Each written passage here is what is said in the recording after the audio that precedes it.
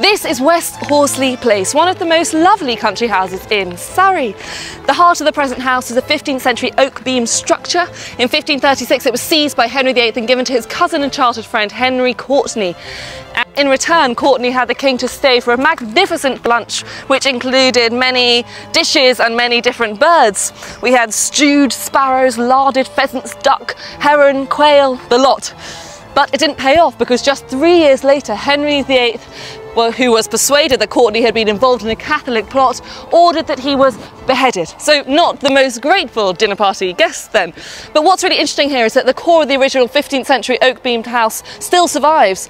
In 1640, the owner, probably embarrassed to have this dated house, opted for a cheap option and he commissioned this long red brick facade to be screwed to the original timber. So it's hanging from the original house rather than supporting it.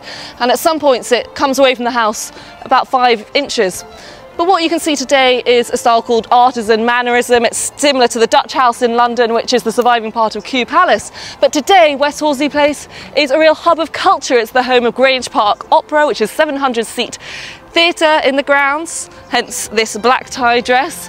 Uh, we're currently in the interval of Wagner's Tristan and Isolde, so quite intense, but loving it so far.